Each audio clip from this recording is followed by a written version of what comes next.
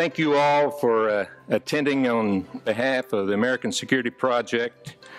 Uh, just a little bit about ASP. Uh, it's a nonpartisan organization created to educate the American public and the world about the changing nature of security in the 21st century. Our founders included uh, now Secretary of State uh, Kerry and Secretary of Defense Hagel. So we've got a pretty good lineage of people with uh, competency and experience in security. Protecting the homeland does not start with the shores of New Jersey and New York and uh, Maryland and the East Coast or the West Coast. Protecting the homeland and protecting the United States and its national security starts literally thousands of miles away. Um, cooperation uh, between uh, the United States and Egypt on uh, counterintelligence, um, on counterterrorism, uh, and intelligence sharing uh, I think it is. It has proven to be very useful and very uh, productive uh, for the U.S. over the years. We've seen it uh, when 9/11 took place, and we've seen it before and after that. And that is uh, a national security uh, issue that it is, I believe, important, at least to the five administrations that I've worked with. And the third one is the military to military relationship. This is proven to be a very vital and useful relationship we in the U.S. certainly uh, enjoy uh, some privileges out of this relationship. What does Egypt need? What does the economy need? What do those who are looking for work in Egypt need?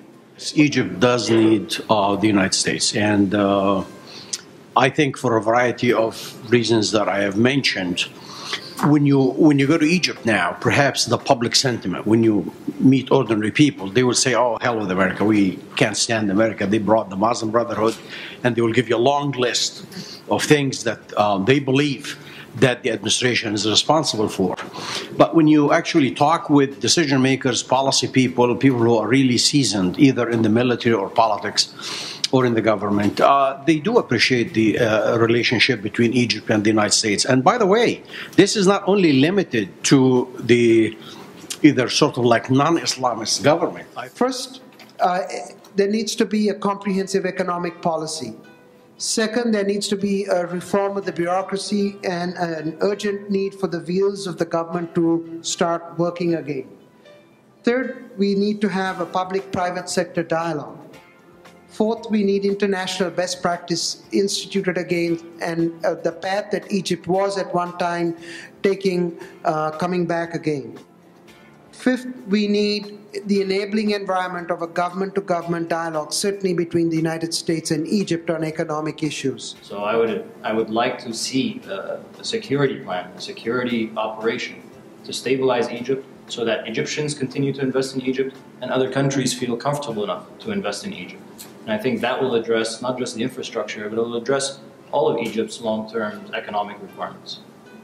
But my sense has been that the that the, the U.S. has, as, as espoused by President Obama and by others, has tried to follow a, a very simple policy that says African challenges are best uh, met by African solutions.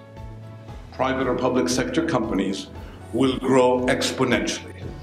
Very, very quickly. This has been the this is what has happened in China, this is what has happened in Brazil, this is what has happened in Turkey. Um, this is what has happened here in the United States in the early 1900s and shortly after the Great Recession. I mean, if you go back 100 years, you would have heard of, you know, the Chase family and the Morgan family and uh, the Rockefellers, and you'll actually find that they were 10 families. And the tap had turned on, and under the tap is a bucket. Now, the trickle down economics require that bucket to be filled to the top and then the water to start overflowing.